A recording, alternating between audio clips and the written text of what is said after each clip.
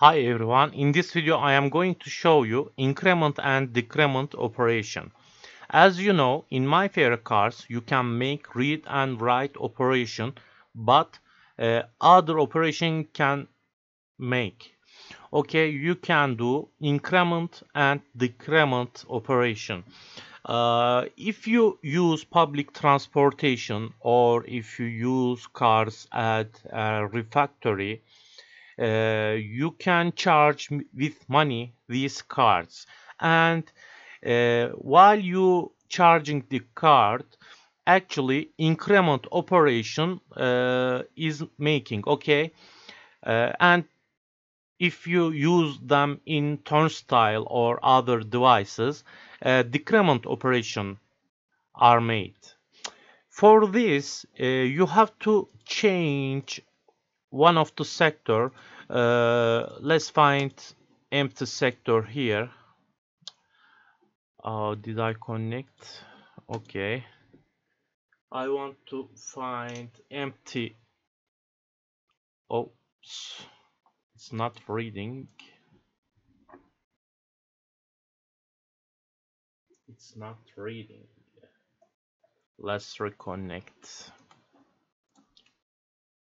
okay. Uh let's use sector 12 okay? Uh, I am going to change access bits of 12 and as you see there are two value value block options okay? I choose one of the value block for block 0 and I'm going to do it other blocks. I am going to authenticate with key type B with default key. Uh, as you see access bits has changed and I push change sector button. Ah sorry. We are going to do on uh, sector 12